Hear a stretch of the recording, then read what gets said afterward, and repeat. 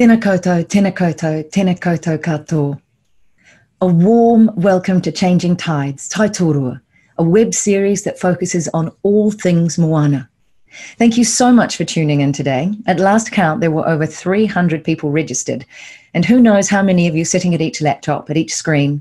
So thank you for having us at your laptops, in your living rooms, and your lives during this unprecedented moment in time. The intention of Tai Tōrua is to bring together experts from Aotearoa and around the world to discuss issues facing our moana and the impacts of climate change on our marine environment. I'm your host, Elisabeth Easther. I'm a broadcaster and writer, among other things, and ever since I made the documentary series Islands of the Gulf for TVNZ, I found myself spending more and more time writing about conservation and working with people whose focus is to preserve our precious environment and vulnerable ecosystems. And the more I learn, the more I want to learn and need to learn. And I'm sure that's mm-hmm. why many of you are here tuned in today. We are all here because of our passion for the ocean.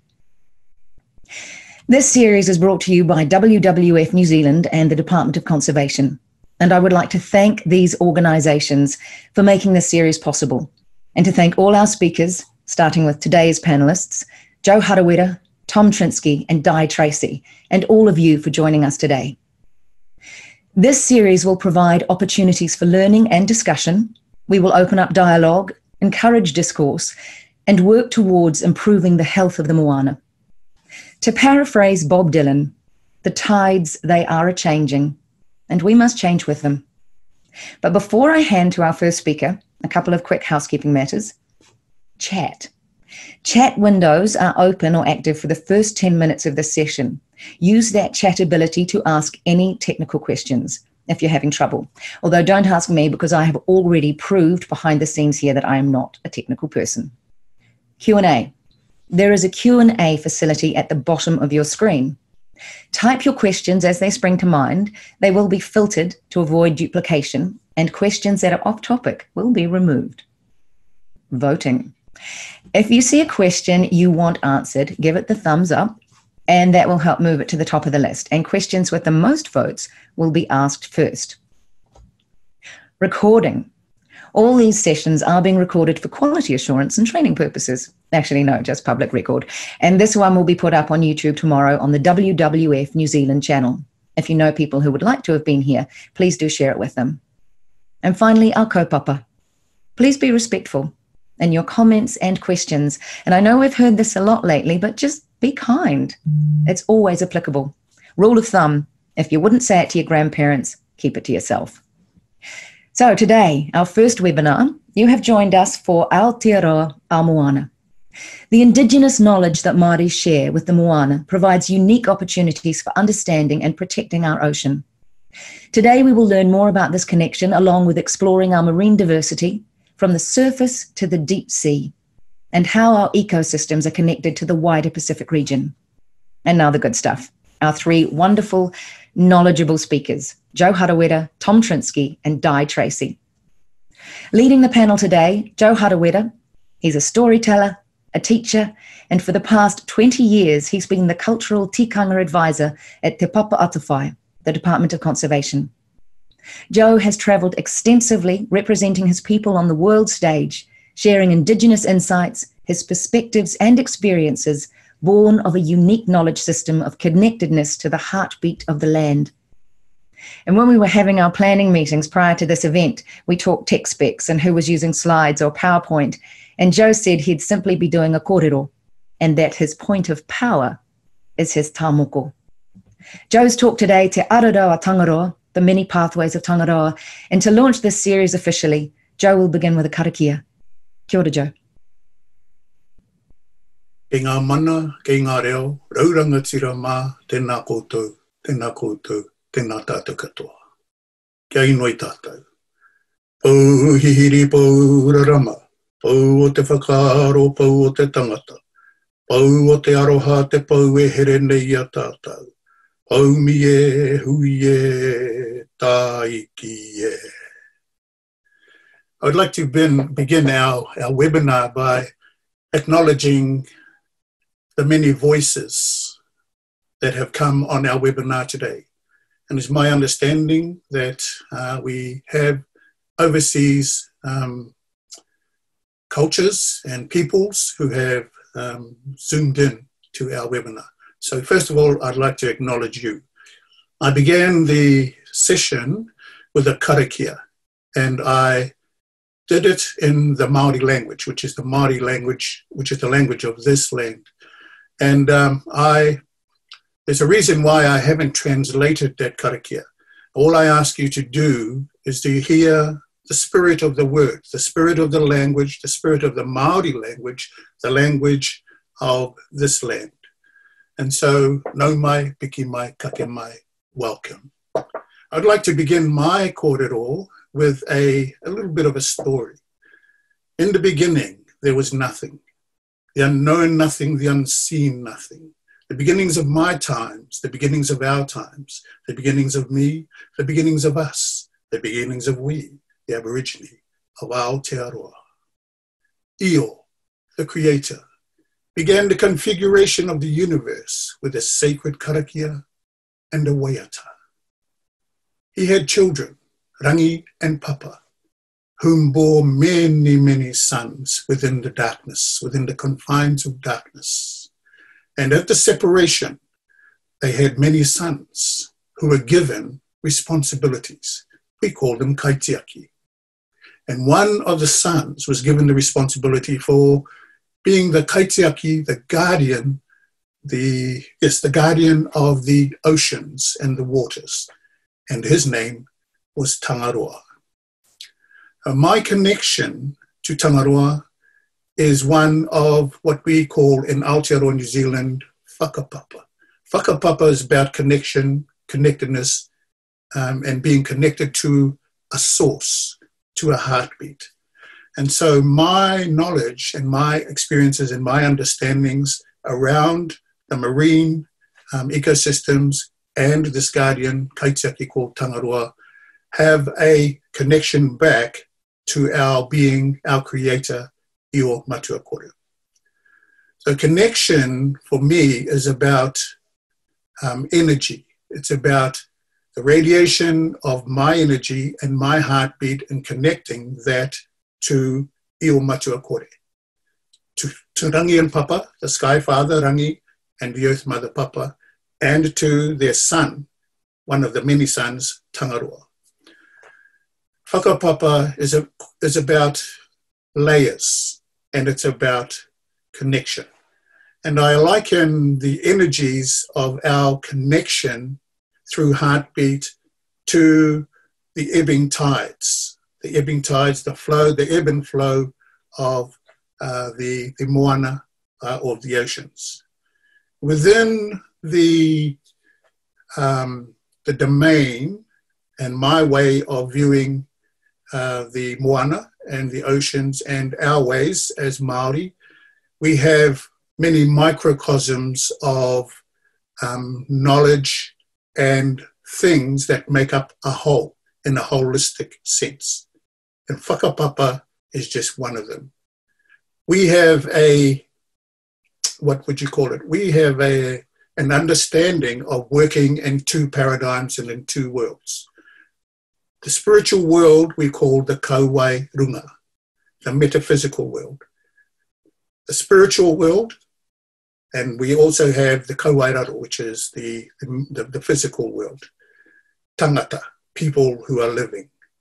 And our understandings and knowledge of interactions and working with the moana have come from centuries of, of, of observation and interaction with the moana.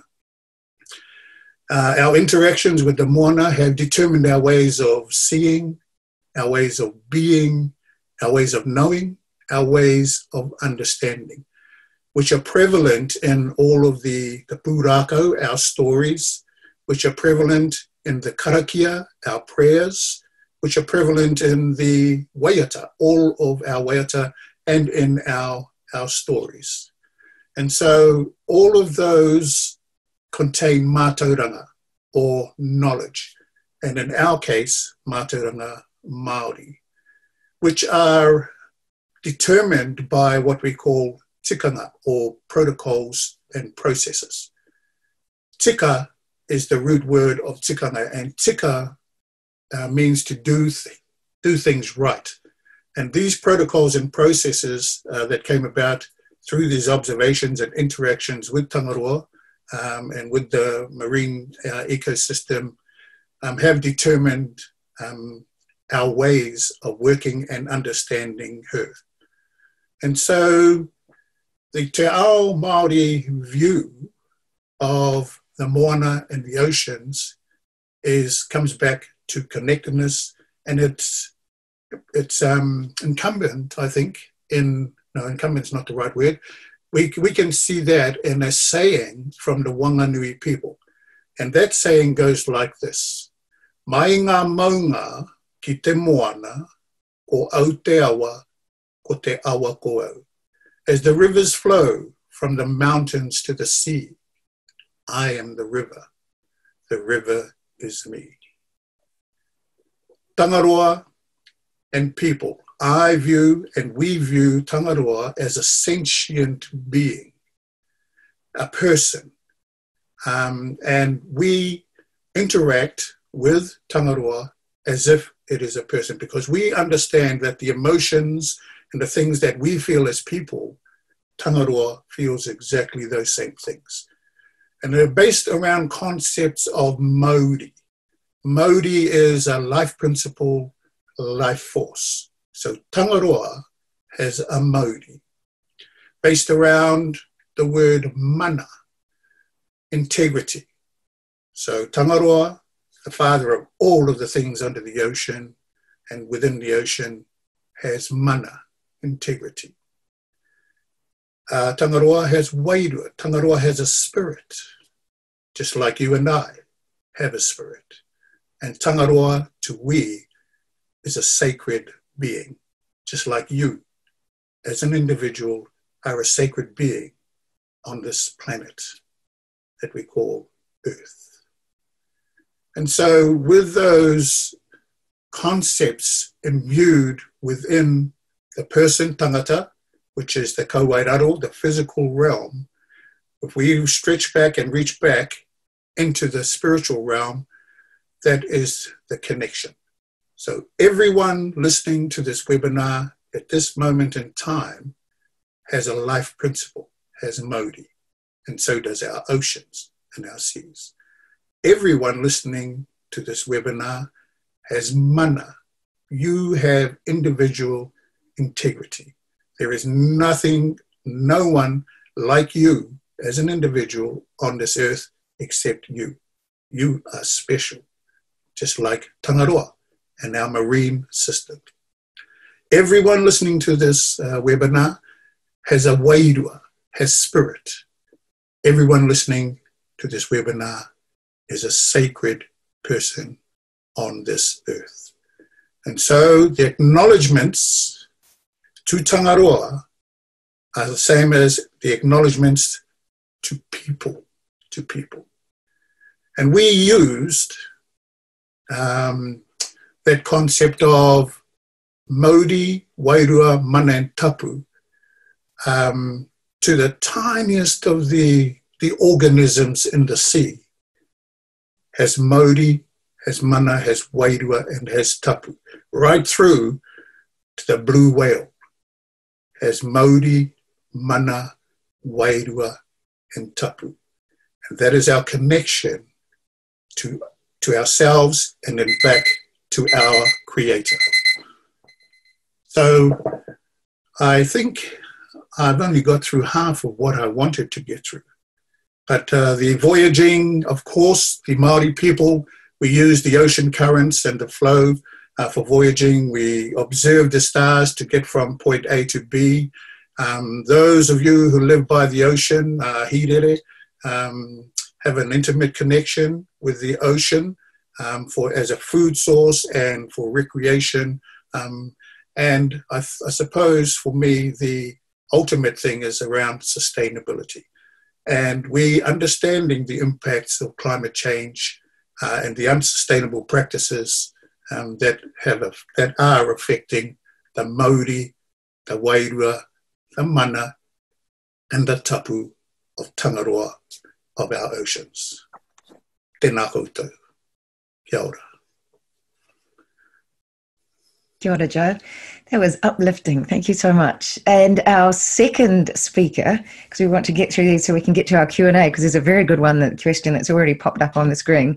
But our second speaker is Tom Trnski. Dr. Tom Trnski is, uh, has been working in the field of marine biology ever since he was a small boy growing up in Australia. And he'd be looking under rocks for crabs and in tidal pools for anemones. And the lucky man, he has turned that boyhood enthusiasm into his profession. Tom is now head of natural sciences at Tamaki Paenga Hira, the Auckland War Memorial Museum.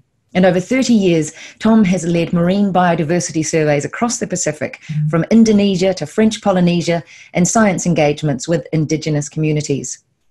Tom was actually meant to be on a research vessel right now, spending four weeks sailing from Rapa Nui, the Easter Island, through to the Pitcairn Islands, finishing up in Tahiti.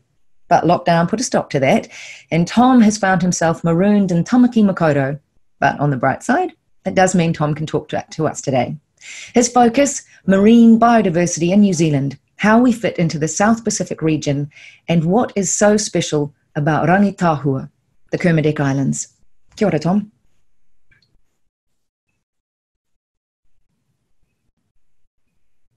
Oh. Tom. Hang on, I have to unmute myself. ah, good. Here we are. Kia ora tātou. Um, thank you very much, Elisabeth, and thank you for the. No, uh, I just look. Are we okay? Zoom. Can you hear me? Yes, all good to go, Tom. Please Okay, good. continue. Thank you. Um, thank you, Elisabeth, for the introduction, and thank you, Joe, for the karakia and and uh, your korero. Um, I put this up because um, you all know that the world is made up of 70% ocean, and the Pacific Ocean is the largest of all oceans.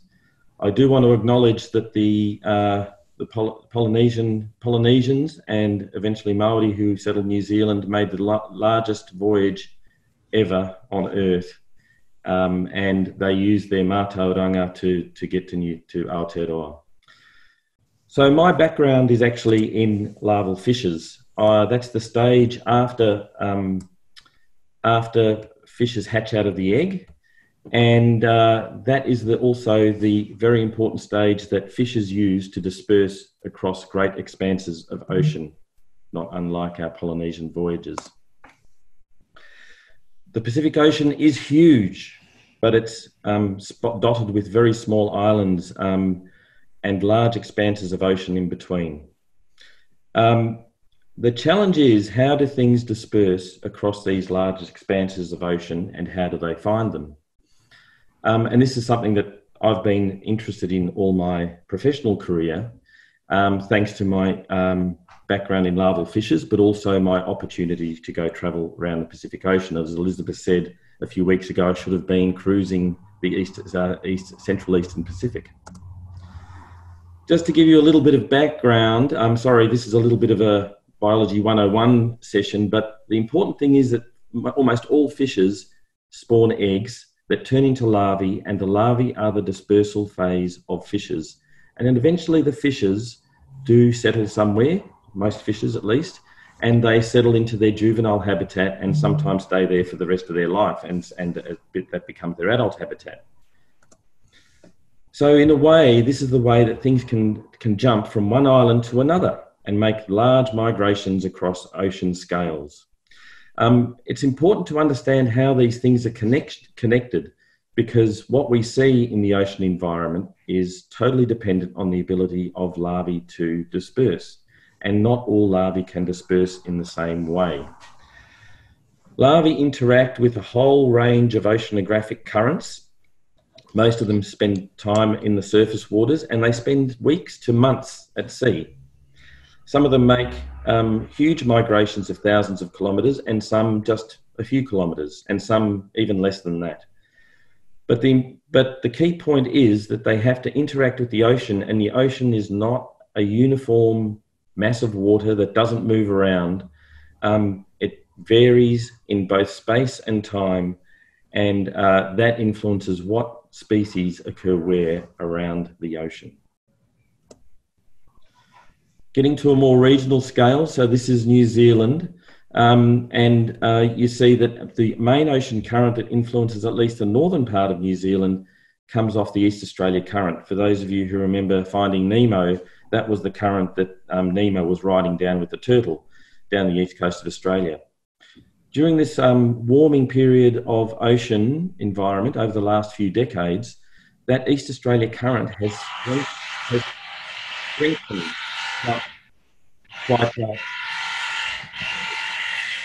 can hear some grinding there, has strengthened quite radically um, and um, has changed the fauna and, and the marine biota that occurs down the east coast of Australia. Things that didn't occur in Tasmania are now occurring um, and breeding in that area.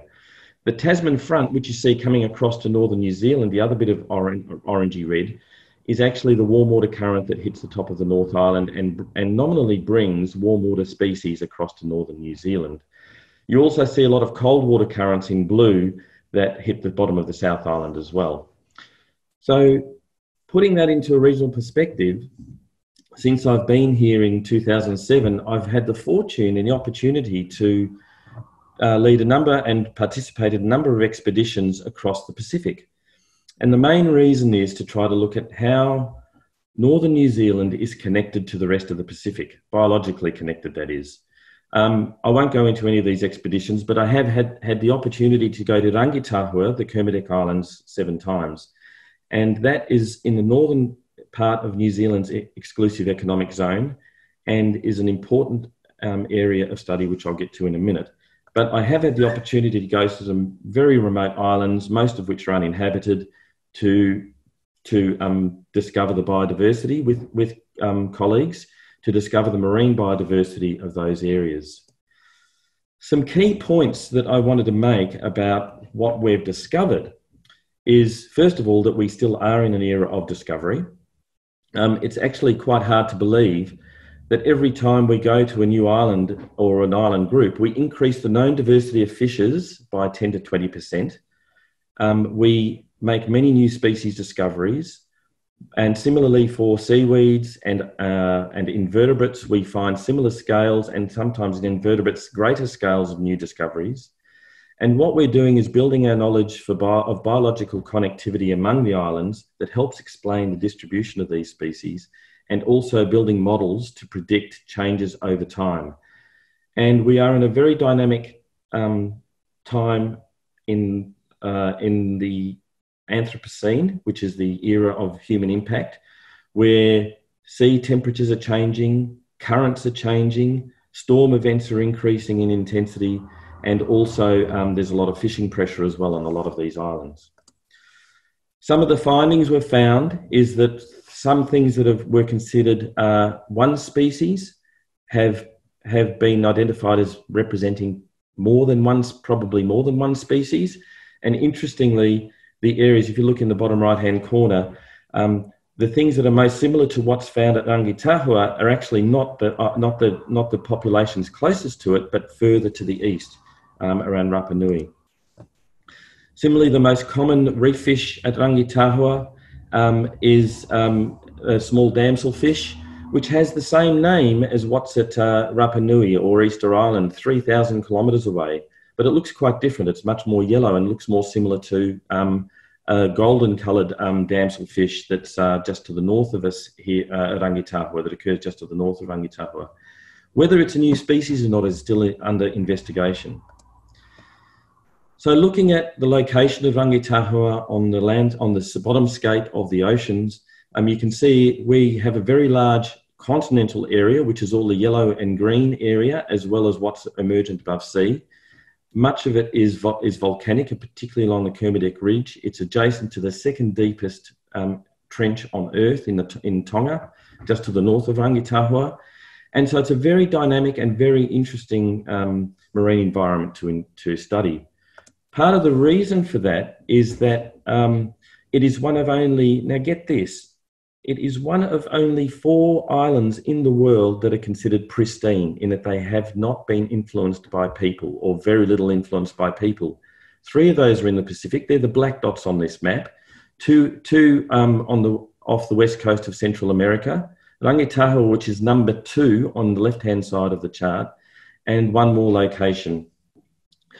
Why this is important is that um, there are virtually no places except these four where we can study marine systems in the absence of influence by people. So it's very hard to tease out natural changes to marine environments and separate those from human influence changes without these bellwethers of change on these four islands. So Rangitahua is an important area for study and research. Things that we've found is um, a, a, very common species of urchin across the Pacific, which was thought of as one species, was described as a new species of from Rangitahua, and now has been found to occur in, in a much broader area as well. Similarly, um, uh, some of the to- uh, microscopic algae that um, cause ciguatera toxin. I won't go into that, but it actually makes fish quite toxic to people, but not to other fishes. Um, but um, it um, it has been found at Rangitahua, and close relatives of this same toxin has been found at Rangitahua. In a global environment where sea temperatures are increasing, could that ciguatoxin turn up in northern New Zealand and potentially um, impact some of our fishes that we, we like to eat as well? It's just a hypothesis, but um, certainly something that we're actively following with, um, with, uh, with some of our colleagues. This is um, a graph of the species of fishes that have been discovered at Rangitahua over the, over the many years. Just on one trip in 2015, we discovered nine new, uh, not new species, but species that have never been recorded from there in the past. All of these are tropical fishes, remembering Rangitahua is on the margin of the tropical islands to the north and the temperate, temperate seas to the south in northern New Zealand. And it effectively is a stepping stone for some of these tropical species that eventually could turn up in northern New Zealand. And with warming temperatures, and as I said, um, uh, currents that will change, modelling predicts that some of these species will in fact turn up in New Zealand over the next decades. The oceans have been doing us a very huge favour. We have certainly a lot of people have been noticing um, on land at least changes in atmospheric uh, climatic conditions, whether it's storm events, uh, icebergs uh, melting and glaciers melting. Um, and so they've been quite moderated. Some of those events, even though we're noticing sea level changes, big storm, big sea storm surges, but actually the ocean's been doing us a big favour in absorbing almost all of the atmospheric carbon that has been generated over the last hundred or so years. Um, and it's only a matter of time, and obviously that's having an impact on oceans before that gets saturated and the impacts on land will become more intense. I can't finish this without presenting this um, without presenting this uh, graphic of catches of fishes across the oceans that had reached their maximum sustainable catch in a particular year from the 1950s up until about 2000. And as an area becomes red, it actually has become uh, reached its maximum sustainable yield. And as you see, by the year 2000, pretty well all the oceans except for the Antarctic have reached their maximum sustainable yield, which does tell us something about the pressure that people are putting on our, our marine, by, our marine species, particularly the larger attractive species that we like to eat. Um, so I'm just going to finish up talking about protecting these areas. Some of the island nations around us, to the north of us, have made huge strides in trying to protect species that occur around their um, ocean oceanscape. Um, uh, for example, Palau in Micronesia has protected over 80% of its EEZ uh, from fishing. Uh, Pitcairn Islands, Fiji has a target of over of 50%. Many islands are now starting to realise the impacts of some of these um, that some of these uh, fishing and human-induced pressures are having on their environments. And the reason they're protecting this is protecting marine environments increases resilience of uh, systems, marine systems, to, to major global impacts, whether that's climate change, storm events, or whatever. Um, also protects their reefs from damage, and that, that also protects islands from storm events. It helps build fisher, fisher, fishery targeted species, but it can't compensate for massive overfishing. Um, and also, it helps return ecological function of marine systems. And I've had the benefit of working in Rangitahua, where uh, where working in a system that is fully functional and has all the ecological levels present in it. If you look at the image behind me, there's 12 sharks in that image, and there's very few places left on Earth, and even in my lifetime, that I can that I've seen big changes in a number of sharks that occur in some of these remote reefs. So it's time to do uh, to change. It's time to look after our connected ocean system, and as Joe said, restore the mauri of our, of Tangaroa because that's the most important aspect of what we have to achieve. And I've been really enjoying working with Indigenous communities across the Pacific to try to help restore some of the integrity of their marine system. Tēnā koutou katoa. Kia ora, Tom. That was fascinating. I think um, most of us would love to go to the Kermadec, and it's not a book a seven day package sort of place. So, um, shining a light on the Motu and the Moana around that area is just so interesting. Although, also, yes, there's some serious news in there as well that I hope we take note of and do something. Right, okay. Third speaker today is the wonderful Di Tracey. Di Tracey is a fisheries scientist at NIWA, Taihoro Nukurangi and she's been researching deep sea marine life in New Zealand waters for decades. Interestingly, because um, what Tom was saying, there is always something else to discover in the ocean. Last year, Di's team, one of the stars that they discovered out of 600 new and potentially unknown ocean species, was a worm that feeds on bacteria and has no eyes. And I would be very proud if I'd found that. Now, Di also works on aging deep sea fish and has now moved on to aging some of the most ancient and threatened corals in our region. Di's talk today deep sea corals in New Zealand waters. Kia ora, Di. Kia ora, Elisabeth, and tēnā koutou katoa, ko Tracey aho no Taihoro Nukurangi. Thanks to DOC and WWF for inviting me to participate in this webinar. It's certainly been great to listen to Joe and then Tom's korero uh, just now and get their perspective about our marine biodiversity, Maori, Maori knowledge, and connections. Um, in my talk, I'll take you all a bit deeper into the dark waters of our marine realm, in fact.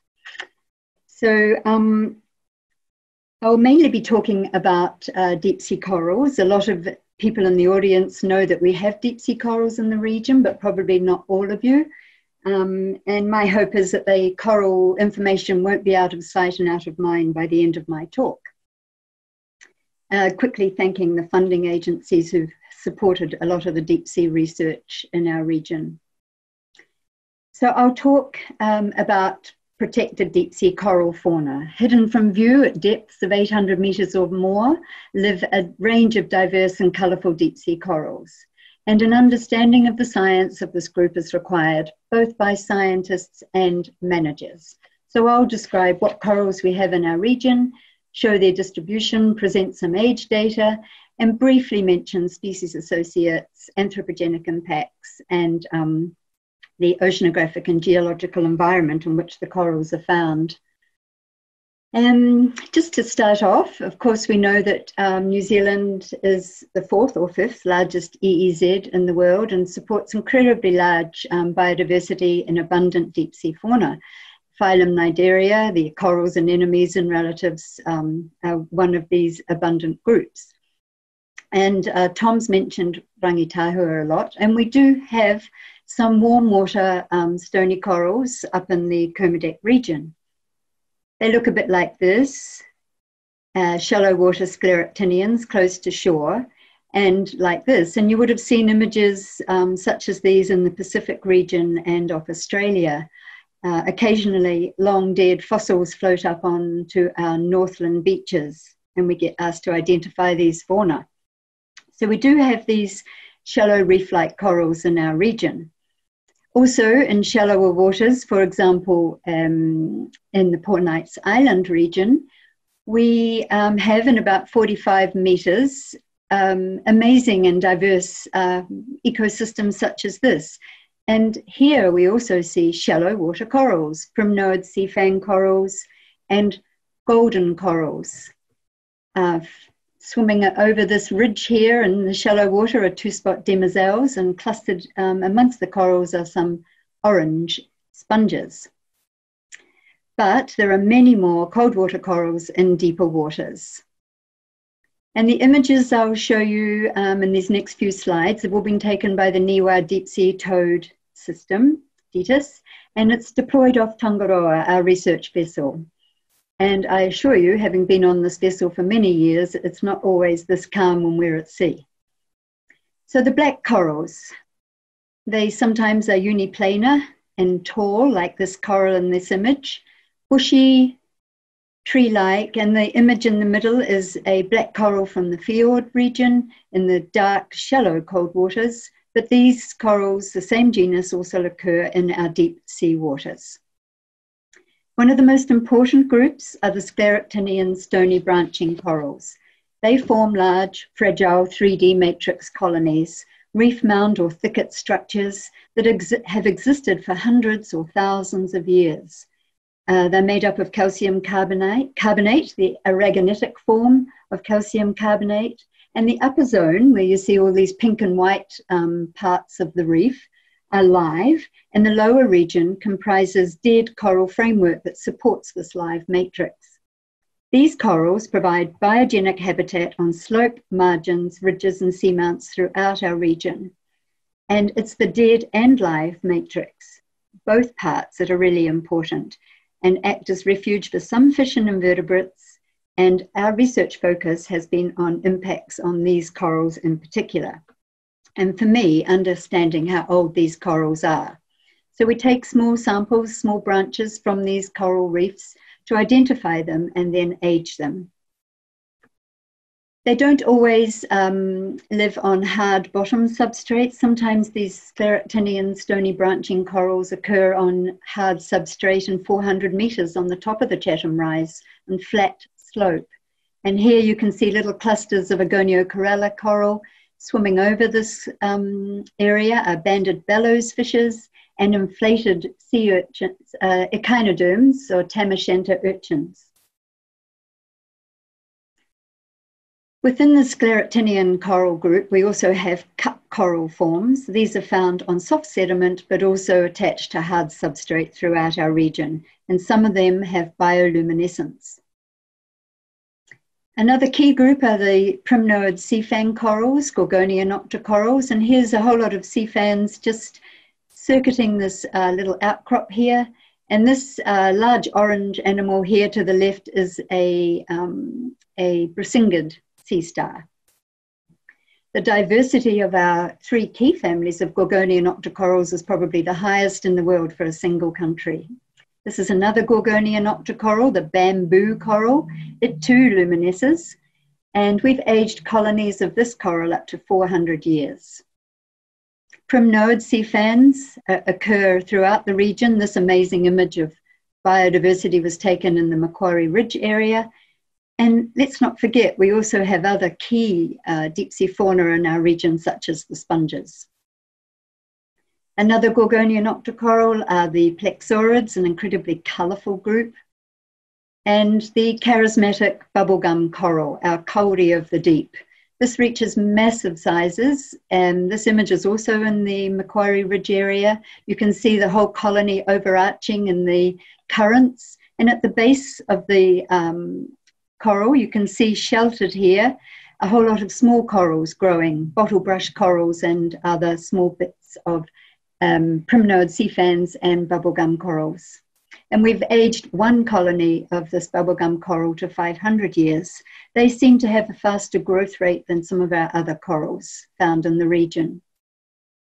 There are the uh, hydrocorals, the uh, stylasterid hydrocorals, delicate lace corals, and they're found also in many um, shapes and forms and colors pink, red.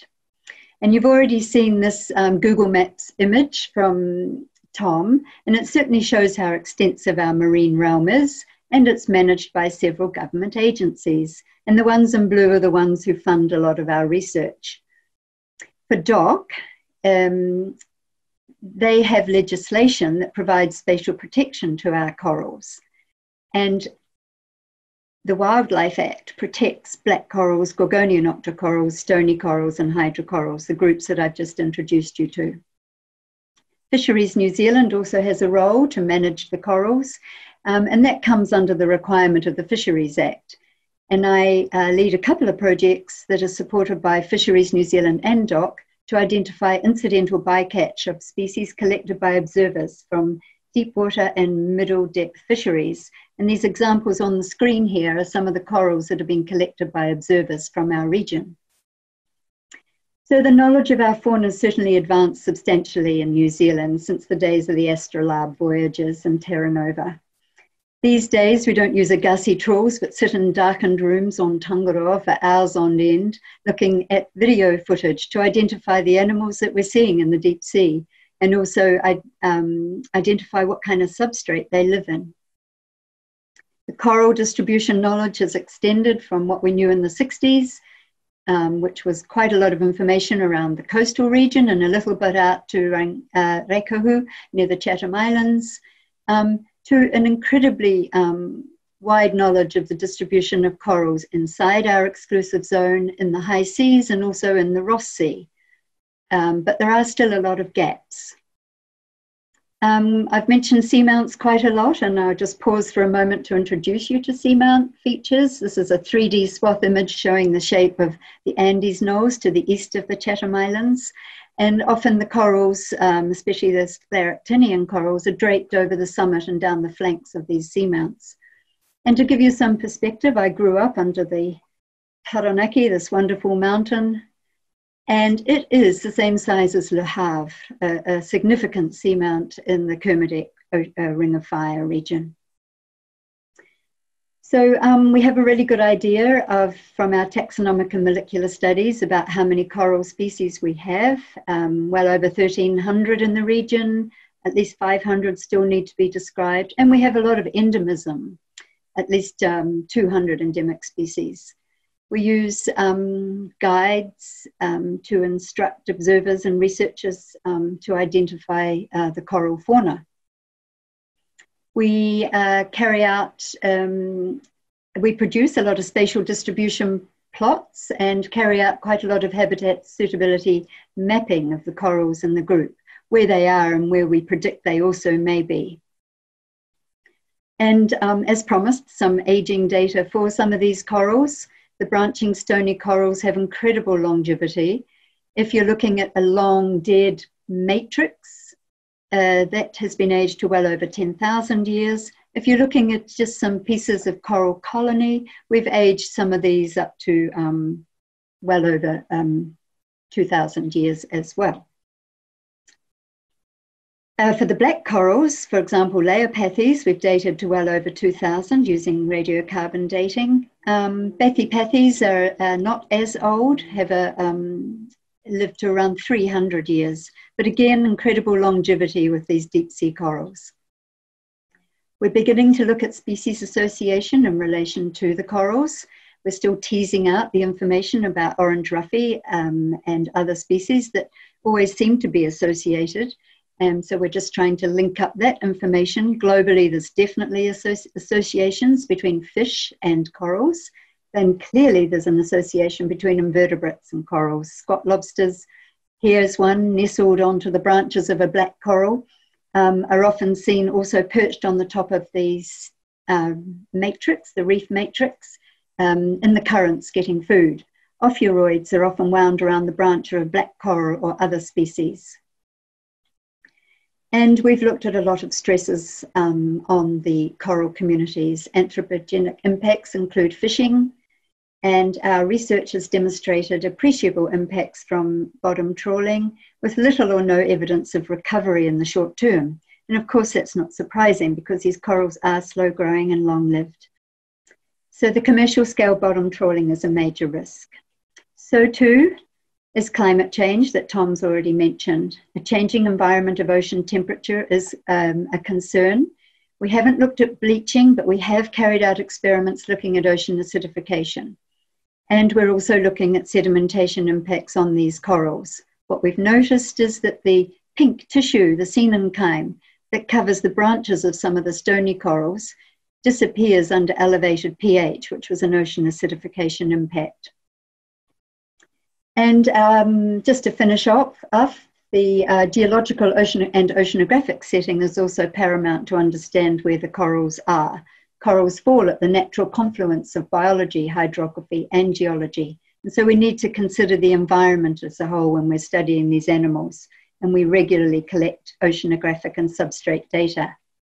So, in summing up, the need for engagement, of course, is paramount and needs to be two ways. We all need to talk to each other, make sure we're doing the appropriate research. We often communicate our science via risk assessments, workshops, engagements, and I'm really thrilled to participate in this webinar today and engage with you all. And I hope that the knowledge of our coral fauna and this quick snapshot that I've given um, in the deep sea is no longer out of sight, out of mind for a lot of you. If you need to know more, hot off the press is our State of Knowledge Guide uh, report.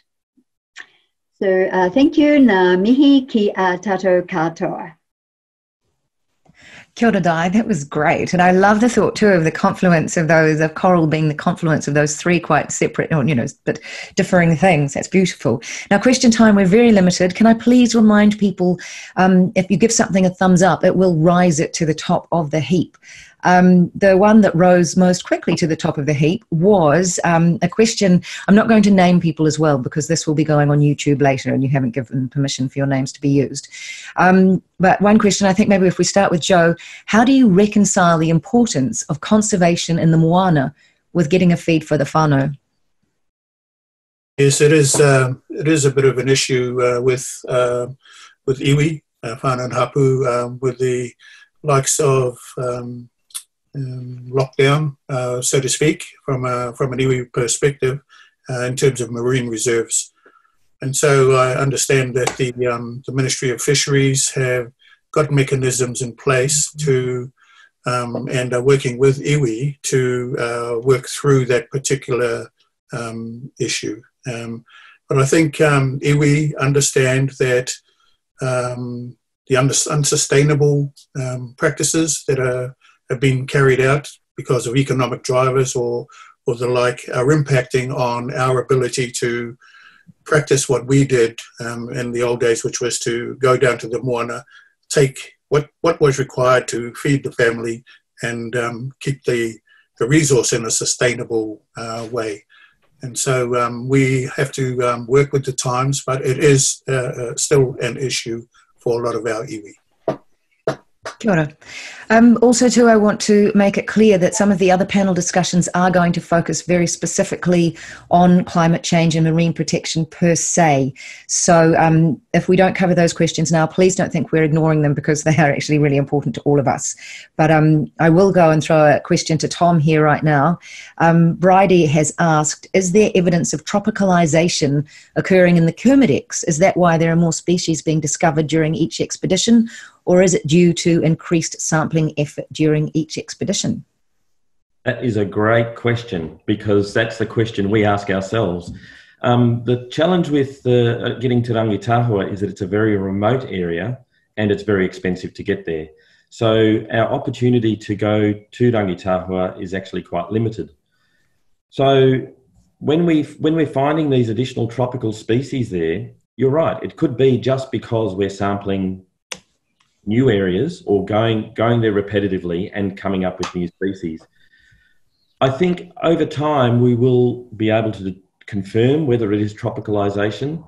Um, there's a project uh, I'm involved with with Libby Liggins from Massey University looking at population genetics and source populations for some of the species that occur at Rangitahua and some of which are actually starting to appear in northern New Zealand or have appear in larger numbers in northern New Zealand.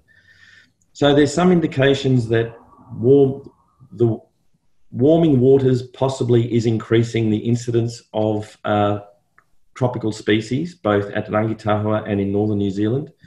And um, that's just a, a, part of ongoing studies, both with Libby and with other with the students as well.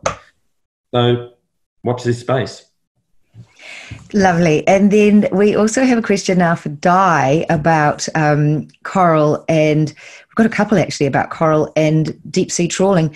But do, um, oh, where's that one for Di gone? Yeah, what is the importance and context of corals in our knowledge of climate change and marine ecosystems? I think that's you, Di. Um, that's a few questions. It sounded like.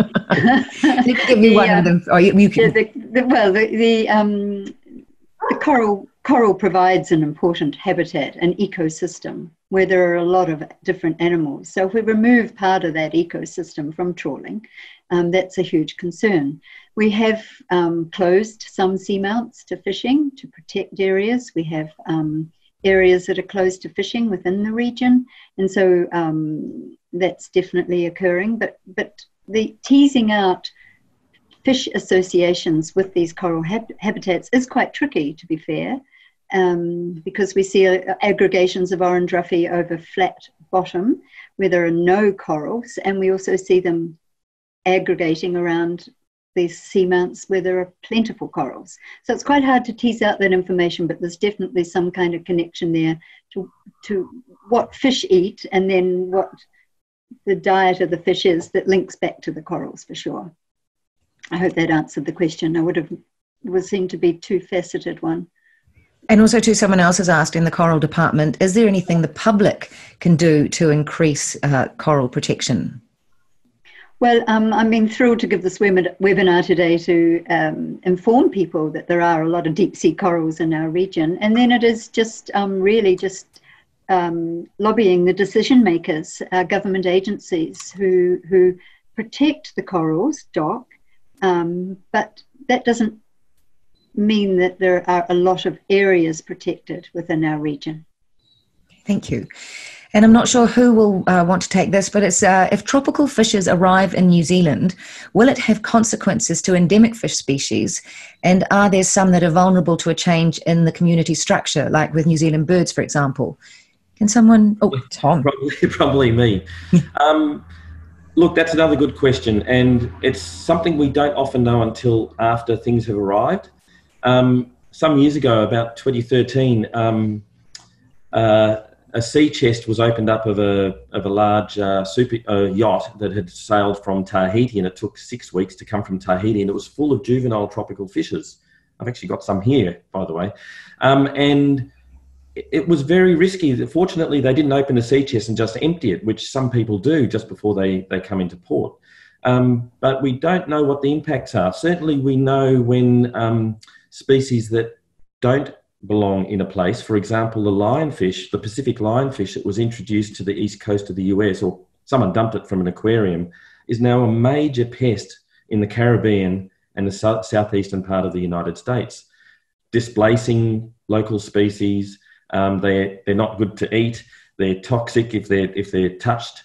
So there can be some major impacts that we, we can't predict until they actually arrive. And once, unfortunately, once a marine species arrives, it's mm-hmm. and it, if it can breed in the area, it's actually very hard to get rid of. And we have some marine species, not of fish, but of invertebrates and seaweeds that have been introduced uh, that have caused problems and are displacing native species. Lovely, thank you. Um, and then we do have a um, one more coral question. Has there been any evidence of corals showing improved resistance to warming oceans and ocean acidification over time? If so, how long would it take for corals to build up this type of resistance? Uh, we don't have any data in this region for that. Um, we what we saw from our experiment was that they lost a lot of the coenenchyme tissue, which meant that the branches were, were getting quite weak. Um, so that kind of strength of the corals um, would become more brittle. Um, as the CO2 increases and the pH changes, we also see a change in the aragonite saturation horizon, which corals use to make their um, um, skeletons and so they would have less available to make um, those skeletons. So we can just assume that this would happen at the moment. We have no no evidence um, in our region, but it was great to do that small experiment um, and to get that kind of um, result um, because that had been seen by global researchers as well. Oh, lovely, thank you. And this question is for Joe. Um, can you please explain more about the relationship between Kaitiakitanga Mauri and Wairua? you know, Mauri is life essence, um, and uh, in a sense they're, they're both the same. But Mauri, um, um, and, and, translation into, um, into English doesn't do the words justice. You've got to feel it in the heart. Mauri is a life essence. Wairua is, is a spirit, the spirit of a thing. Lovely, thank you. And then we will do one little um, marine protection question, just because it is um, important, and also it's quite a um, quite a topic at the moment. Tom, the Kermadec Marine Protection Area. Do we know what the plan is for an extension? Or um, I know this is a complex issue, but is there any known plan? Well, the government did, an, the pre- previous government did announce it to the UN that um, it was going to be. Uh, um, legally designated. Um, and uh, unfortunately, that didn't go through.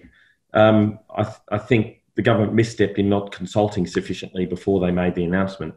Um, I, I, am hoping that in, uh, in time that will happen, mainly because these large ocean sanctuaries have major benefits for, for big for species that do um, travel across oceanscapes.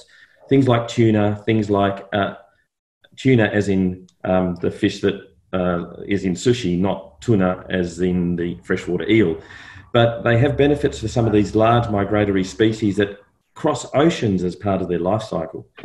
Um, so, in time, perhaps it will happen. I think it would benefit the whole community around Rangitahua. At the moment, it's only rings of out to 12 nautical miles, but eventually most of the EEZ around Rangitahua could potentially become, become a marine protected area and join others in the Pacific that have already done that.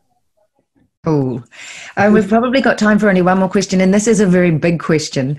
And please, too, people know that um, at the end a tile will come up, and you can also send uh, questions to moana at doc.gov.nz, and that will come up at the end, and those questions are important.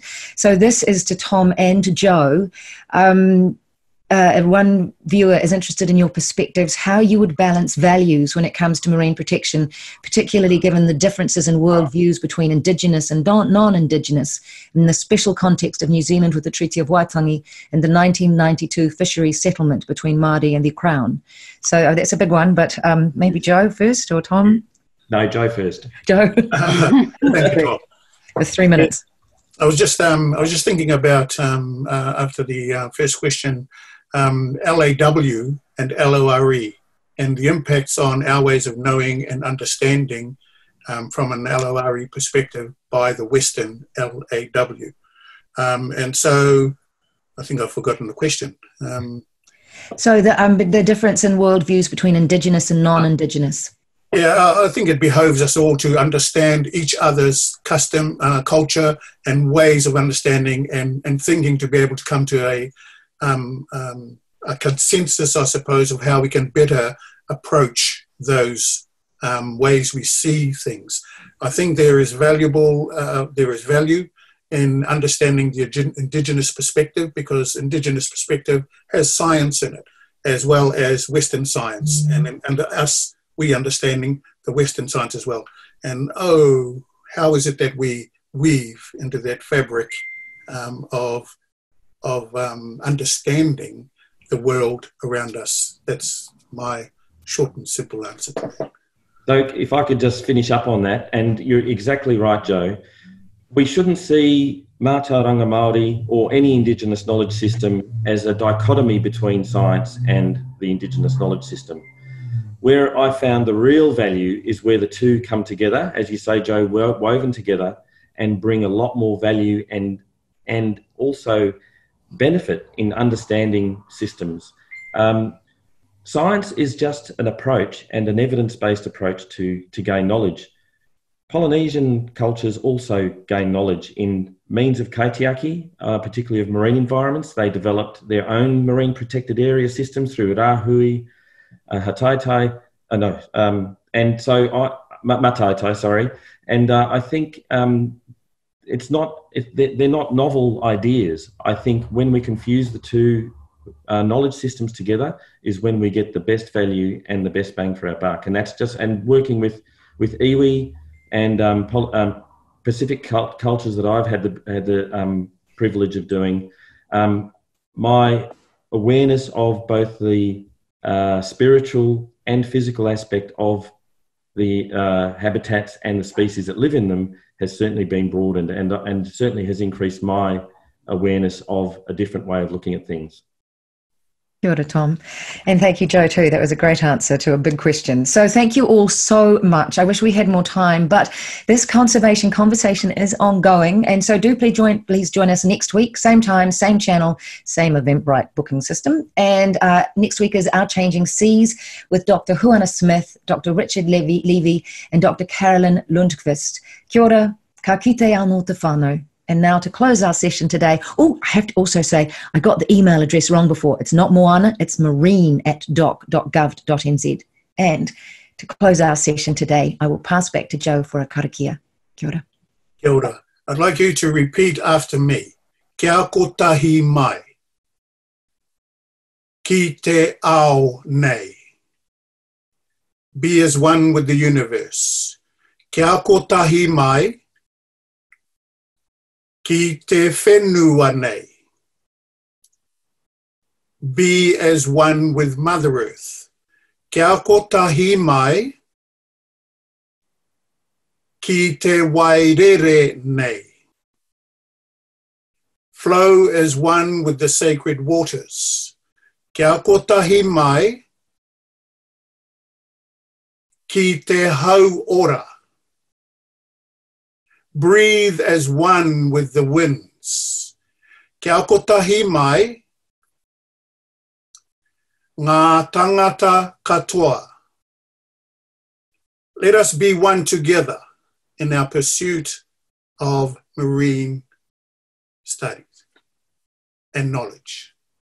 Patu ki tahi ngā manawa e times four. That basically means let our hearts be in sync with the heartbeat of Tangaroa, and only then will we have true balance in our lives. Tēnā koutou, kia ora.